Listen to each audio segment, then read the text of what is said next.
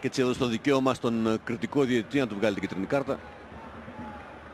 Και το καθαρό φάουλ στη Λάρισα. Εκτέλεσε ο Νταμπίζας. Ο Πάρα πήρε μια κεφαλιά. Ο Γιανακόπουλος δεν μπόρεσε τη δεύτερη. Ζεράλδο έπαιξε πλάτη ο Γιανακόπουλος. Προσπάθησε να τον αποφύγει. Φιλοξενούμενοι θα κρατήσουν στη μεσαγραμμή με το Σαρμιέντο εδώ. Ήλιτς. Δεν υπάρχει offside. Ο Πάρα απέναντι στο Σάχα. 1-0 στο 9 από την αχίλιο πτέρνα της άμυνας της ΑΕΚ, εκεί αριστερά δηλαδή, όπου έγινε και παίχτηκε περισσότερο το μάτς σε αυτά τα πρώτα 9 λεπτά. Η Λάρισα χτυπάει με τον γκολ του Πάρα. ο οποίος έτρεξε στον πάγκο, αυτός που αγκάλιασε είναι ο Ζουράφσκι, ο μεγάλος απόν της Λάρισσας ξανά εδώ. Έμεινε μέσα ο Ενσιαμπαφούμου στο offside, κάλυψε τον Πάρα αυτός δεν δυσκολεύτηκε από την μπάσα του Ήλιτς και αφού προηγουμένως η μπάλα είχε περάσει από τα πόδια του Σαρμιέντο να κάνει το ΑΕΚ Λάρισα 0-1. Εδώ ξανά τον γκολ από τον Πάρα.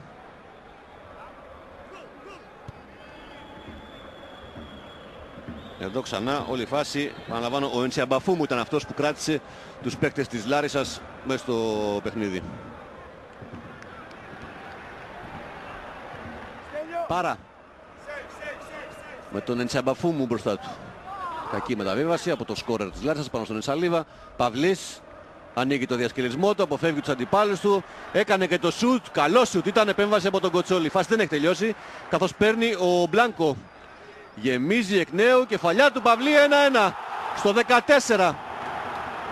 Άμεση απάντηση από την ΑΕΚ, από τον uh, μικρό το Παυλή, ο οποίος και σε πρώτο χρόνο έκανε το σουτ έδιωξε ο Κοτσόλης και στη συνέχεια εκμεταλλεύτηκε την αδράνεια της άμυνας της Λάρισας και στη σέντρα του Μπλάνκο μόνος με κεφαλιά έστειλε την μπάλα στα δίχτυα για να ισοφαρίσει εδώ ξανά όλη φάση το σούτ από τον Παυλή καλύπτεται ο Μπλάνκο την ώρα που εδώ παίρνει την μπάλα. Το είδαμε προηγουμένως μας το δείξαν πεντακάθαρα οι συνάδελφοι και εδώ πια το γκολ του Παυλή ο Κοτσόλης απλώς παρακολουθούσε την πορεία της μπάλας προς τα δίχτυα. 1-1, δύο γκολ γρήγορα στο παιχνίδι εδώ το δεύτερο από τον Παυλή. Τη σέντρα του Μπλάνκο.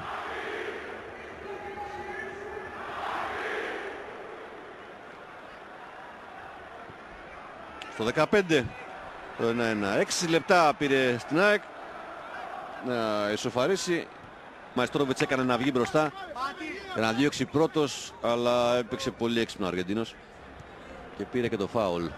Γιανακόπουλος ο Πάρα παίρνει θέση. Μπάλα περνάει για το Μετίν. Ξανά ο Τούρκος. Ο Σάχα διώχνει. Λάρσα που επιμένει με το Βενετίδη. Έφυγε τον Ενσιαμπαφού Έχουν κλείσει τρεις πάνω του. Ξανά ο Σάχα. Δεν μπορεί ο Γιανακόπουλος. Ο Σαρμιέντο παίρνει την επέμβαση. Κάνει ένα σούτ από μακριά. Στο δοκάρι. Μεγάλη φάση. Γκολ 2-1 από τον Ήλιτς. Στο 24 σε μια φάση που εξελίχθηκε με κινηματογραφική ταχύτητα στην ε, άμυνα της ΑΕΚ. Θα τη δούμε πάλι από την αρχή. Εδώ ο Γιανακόπουλος αφήνει στον Μετίν. Διώχνει ο Σάχα με γροθιές. Έρχεται ο Βενετίδης που έχει τον Ενσιαμπαφούμου. Θα τον αποφύγει, θα φέρει την μπάλα στο αριστερό που είναι και το καλό του πόδι. Ο Σάχα εδώ δεν μπορεί να διώξει την μπάλα η οποία απομακρύνεται, έρχεται ο Σαρμιέντο να κάνει ένα μακρινό σουτ στο δοκάρι και στη συνέχεια από τα πόδια του Ήλιτς στα δίχτυα του Σάχα. Ξανά εδώ η φάση διαμαρτυρήθηκε προς το βοηθό διότι υπήρχε ένας παίκτης μπροστά του που παρεμπόδιζε το οπτικό πεδίο. Πάντως το γκολ είναι από τον Ήλιτς στο 24. Το 2-1 για την ε, Λάρισα. Από τον Πάρα που έχει γυρίσει η ΑΕΚ που κρατάει όμως πήρε την επέμβαση. Μαντούκα, Σκόκο. Έφυγε ο Νσιαμπαφούμ από δεξιά. Η μπαλά βγαίνει στο Μαντούκα. Δοκιμάζει με το αριστερό γκολ. Στο 42-2. Η σοφάριση για την ΑΕΚ από το ξερό αριστερό σουτ του Μαντούκα που βρέθηκε φάτσα στην αιστεία του Κοτσόλη, δεν δίστασε και δικαιώθηκε από την επιλογή του. Σοφαρίζει η ΑΕΚ.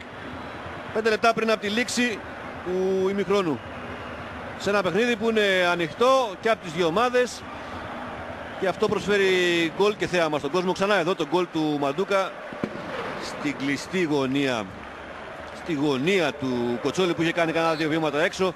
Είχε χάσει την επαφή του με την ε, γραμμή της αιστείας του και εδώ από μακρινή απόσταση ο Μαντούκα ισοφαρίζει σε 2-2. Στο 40 έλεγα πως δεν ε, είναι χαλαρές και οι δύο ομάδες, δεν υπάρχει σκοπιμότητα στο παιχνίδι και αυτό είναι θετικό για τον κόσμο που έχει έρθει να παρακολουθήσει. Ο Ζουνίδης φωνάζει, τι Παναγιώτη; Τον ε, Κυριάκος αλλού του είπε να παίζει και αλλού παίζει τελικά ο Κυριάκος. Ε, Κνευρίστηκε πάρα πολύ ο Ζουνίδης. Ενσαλίβα.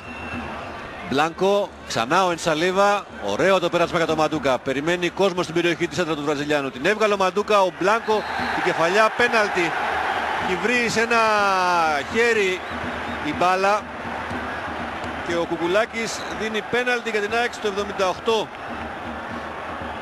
Του Νταμπίζα το χέρι έχει βρει.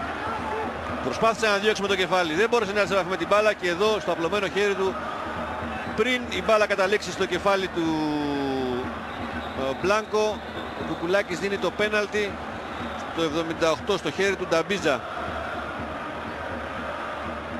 Πήρε και κίτρινη. Φυσικά και θα το εκτελέσει ο Μπλάνκο. Και έχει την ευκαιρία να βάλει την άκρη για πρώτη φορά μπροστά στο σκορ. Σε ολόκληρο το παιχνίδι στο 79 λίγα μέτρα φορά από τον Μπλάνκο.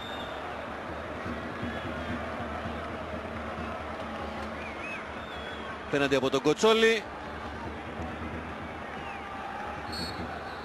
Μπλάνκο εκτελεί. Γκολ. 3-2 στο 79 εύστοχα εκτελεσμένο το πέναντι του Μπλάνκο που πνίγεται εκεί στις αγκαλιές των συμπαικτών του. Η ΑΕΚ ανέτρεψε το 0-1 και το 1-2 και 10-11 λεπτά πριν από το τέλος προηγείται 3-2 ε, της Λάρισας. Ύστερα από το πέναλτι που έκανε ο Νταμπίτσας με το χέρι και την uh, πολύ καλή εδώ εκτέλεση του Μπλάνκου που έστειλε στην άλλη γωνία τον Κοτσόλη και στην uh, άλλη την μπάλα και έδωσε το προβάδισμα uh, στην ΑΕΚ σε ένα καθοριστικό σημείο καθώς πια μπαίνουμε στο τελευταίο δεκάλεπτο του παιχνιδιού. Στην ΑΕΚ που Θυμίζω ότι στα πέναλτι είχαν χάσει τον τελικό εδώ στο Ιλιγίπεδο από τον Ολυμπιακό. Ο Μπλάνκο είχε χάσει πέναλτι και τη δυνατότητα να αναδειχθεί πρώτος σκόρερ στο πρωτάθλημα τελευταία αγωνιστική. Αλλά τώρα πέτυχε αυτό το πέναλτι στο 79 και έδωσε το προβάδισμα στην ΑΕΚ με 3-2.